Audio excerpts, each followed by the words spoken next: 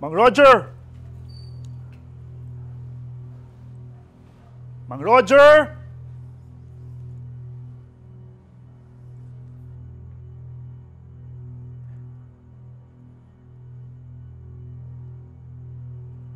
Jason?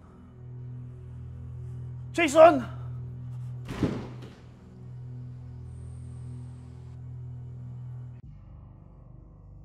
Erika. Erika, ano ginagawa mo dito? Dad, ang nangyari dito? Jason, anak.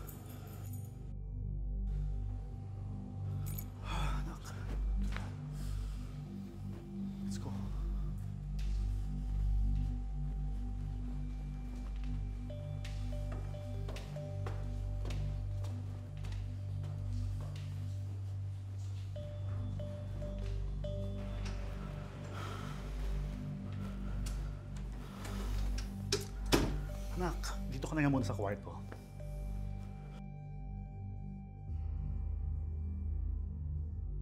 Dad, ano ba nangyari? Sino ba siya? Asan si Mang Roger? Will be okay. Nag-usap na kami. Trabaho. Mga na hindi mo na kailangan mayaman. Okay? Dito ka muna sa kwarto. Magkailabas hanggang di ko sinasabi, ha? Okay?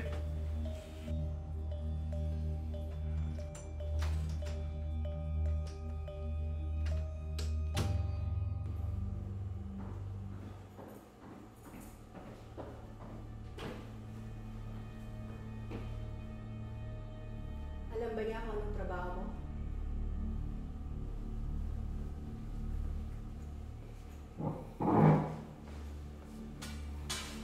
Alam niya na gobyerno. Hindi niya alam kung parte doon. Plano mong sabihin? Hindi. Tamang desisyon. Ginagawa ko dito, Erika. Naghihintay ng debriefing namin ni Rico. Pero mukhang hindi na mangyayari yun. No? Hindi. May dahilan kung bakit? Dahil patay na kayong dalawa.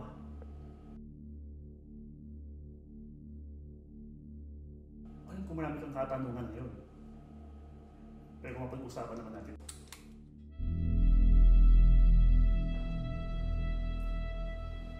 Alam mo ba?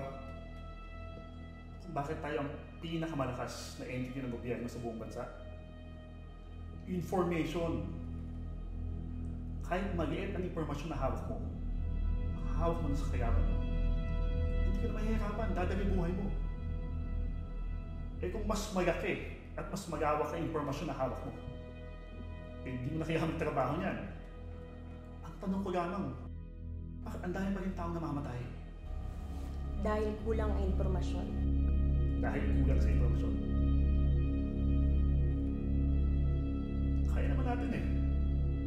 Kaya naman sila pigilan. Pero hindi sapat ang information gathering natin. At paano ito importante sa nangyari kanina? May dinedevelop na isang malaking surveillance program ng mga Amerikano.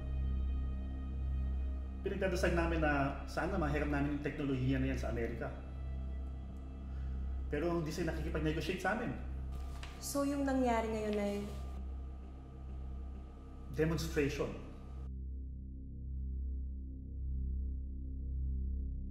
Wala ka ng katanungan pa.